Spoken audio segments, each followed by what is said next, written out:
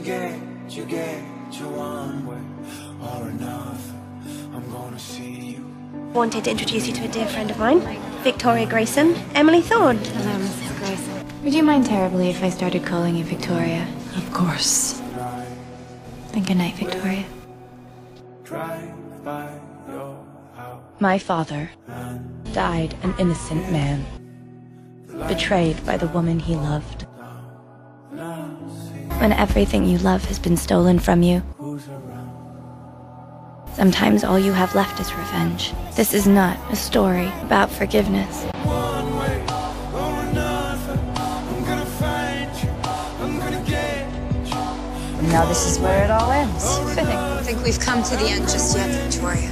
I'm gonna get you, get you one way. What have you done? We needed help. I had no choice but to check you in. Don't worry, Claremont Psychiatric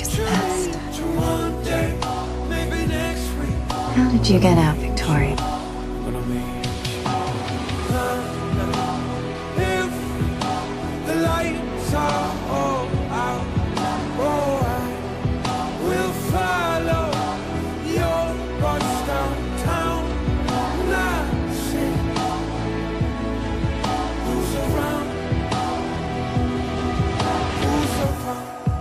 Nature can be cruel. Predators are everywhere. But in the wild, the female species can be far more ferocious than their male counterparts.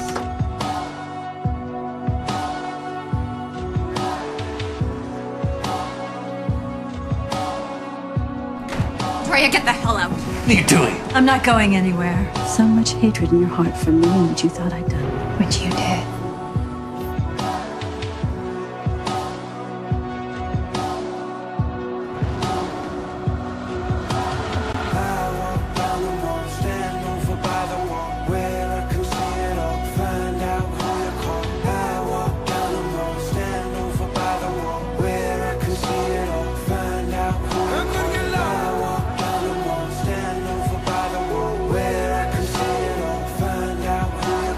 You know, it's just a girl obsessed with her. You know, it's just sick how you two live to destroy each other. Find out who you call. I walk down the mall, stand over by the wall, where I can see it all, I want you to find out everything you can about a young woman named Emily Thorne. by the wall, where I can see it all, find out who you call. We'll drive by your house and if the lights are all down, and I'll see who's around. Now, Victoria, three years. I've watched and predicted her every move.